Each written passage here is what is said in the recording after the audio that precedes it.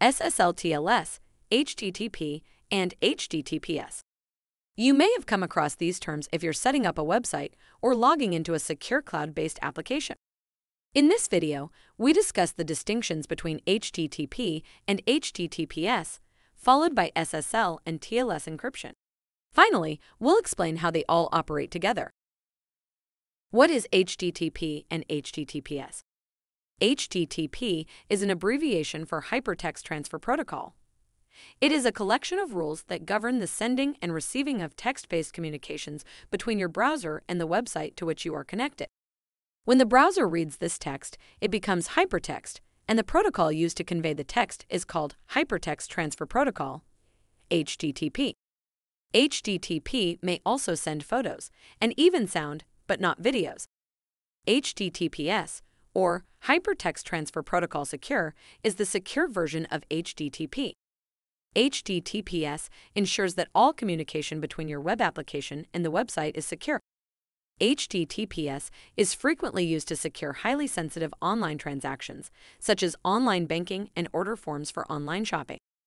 HTTPS uses SSL or TLS encryption, which we'll cover next. What is SSL? SSL, an abbreviation of Secure Sockets Layer, is a secure protocol designed to transmit data over the internet securely. Websites use SSL to encrypt sensitive portions of their sites, such as user account pages and online checkout. Typically, when a website requests that you log in, the next page is encrypted by SSL, thus creating a secure session. SSL encrypts the data being communicated, preventing a third party from eavesdropping on the transmission and seeing the contents. The data is only recognized by the user's computer and a secure server. SSL encrypts your name, address, and payment card information between you and the merchant. Without this level of security, internet buying would be far too risky to be feasible. When you visit a website that begins with HTTPS, the S following the HTTP denotes that the website is secure. SSL certificates are frequently used to verify the validity of these websites. What is TLS? TLS is an acronym for Transport Layer Security.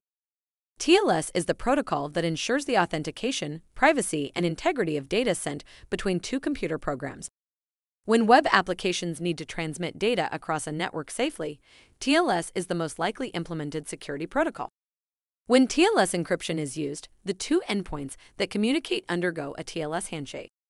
Web surfing sessions, file transfers, VPN connections, remote desktop sessions, and voice over IP are all examples of applications that use TLS. TLS originated from SSL and has essentially surpassed it. Despite the terms SSL or SSL/TLS being used interchangeably. TLS and SSL are incompatible, although TLS supports backward compatibility for connecting to outdated systems. SSL TLS is required whenever sensitive data is exchanged, such as usernames and passwords or payment processing information. SSL TLS is used to transmit data securely via HTTPS and is required for three primary use cases on your website. 1. When authentication is required, any server can impersonate yours, intercepting the data that users transfer along the way. SSL TLS lets you authenticate your server's identity, ensuring that you are who you say you are. 2. To establish trust. If you're running an e commerce site or requesting sensitive data from consumers, you need to foster trust.